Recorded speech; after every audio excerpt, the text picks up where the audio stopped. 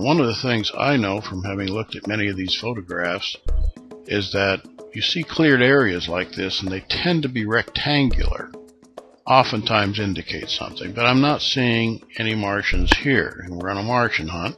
So let's take it a little bit further. And again we're we're not seeing any uh, anything here in the way of Martians. Uh, and I want to impress you that you don't see the Martians very often. They, they aren't uh, crawling all over the photographs. It takes a lot of hunting, and you really have to look. Now, I'm seeing something strange here, but it could be a rock. I'm seeing something a little strange here. That could be the result of pixelation, uh, the extreme magnification, uh, or it could be nothing. So let's take it up into these big rocks and see if we can now I, I wonder about a figure like this but again it's right at the point of pixelation and I really can't say anything about it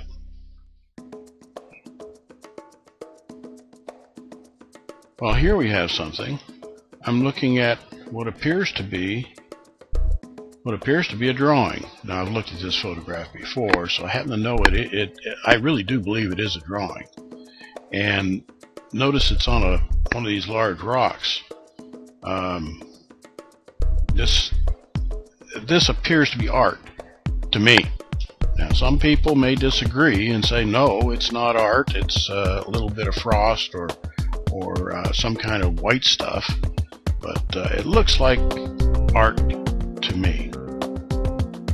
Let's see if we can find an artist, and then we'll have found a Martian. That's what we're after. This is a Martian hunt. Oh my god. Look. This looks, you see brown, it looks like hair. You see arms. This looks like clothing. Clothing's in, in the right shape. Uh, you got what are either pants or a skirt. And uh, there appears to be a leg here. Well, this is amazing, and it's right next to the art. The art's right here, and and uh, there appears to be something of a cave in here. And right here, we have what may be the artist.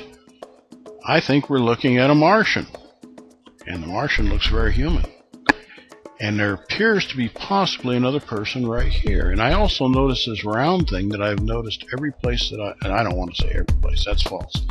But uh, where I've noticed oftentimes around uh, Martians, you tend to see these, these uh, donut-shaped uh, uh, objects, and I don't know what they are, but uh, it's kind of interesting.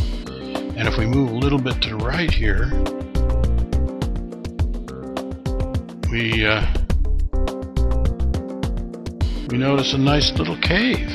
Look at that cave. Isn't that interesting? Nice little cave, and